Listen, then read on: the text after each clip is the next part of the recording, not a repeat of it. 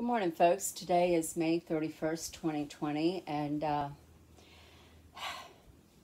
things are not real happy in the world right now in America.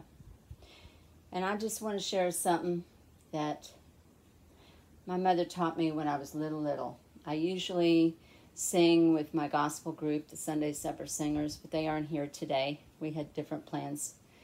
And uh, I just want to let you know if you need prayer,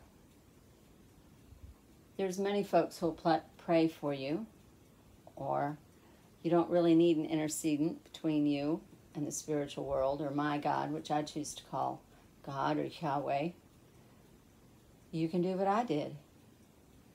And I just fell out of bed, landed on the floor, and I said, I can't live like this anymore.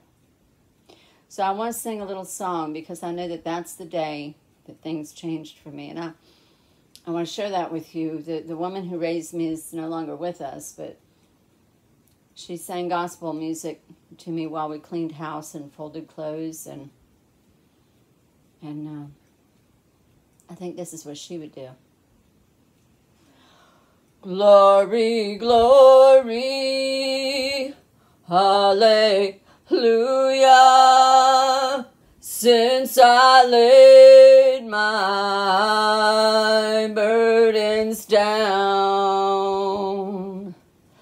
glory, glory, hallelujah.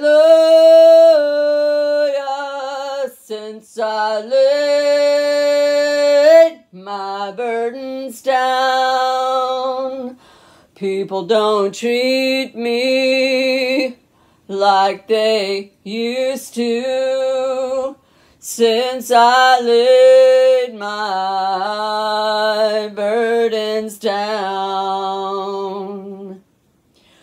People don't treat me like they used to since I laid my burdens down. Sing with me. Glory, glory,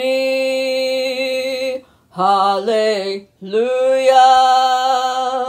Since I laid my burdens down.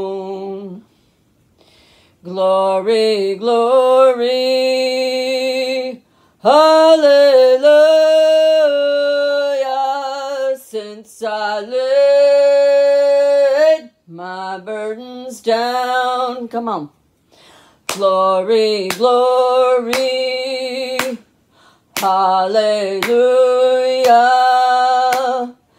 Since I laid my burdens down. Glory, glory, hallelujah.